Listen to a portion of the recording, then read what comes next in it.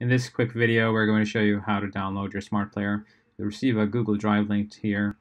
Uh, once you click on it, it'll open up a tab like this or a page like this on your favorite browser. Click the download button and uh, it'll begin the download process. You'll see a download arrow or down pointing arrow and then it'll download the file.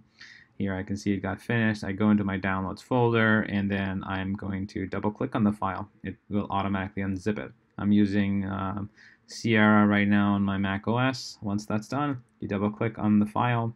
Mac will automatically recognize that file. It's a dot app app extension, so it appears as a, kind of application as uh, a Mac application. Once you double click on it, you may get a message like this saying, "Do you want to open it or whatever?" Because you downloaded from the internet. Just click open, and uh, then the file will launch.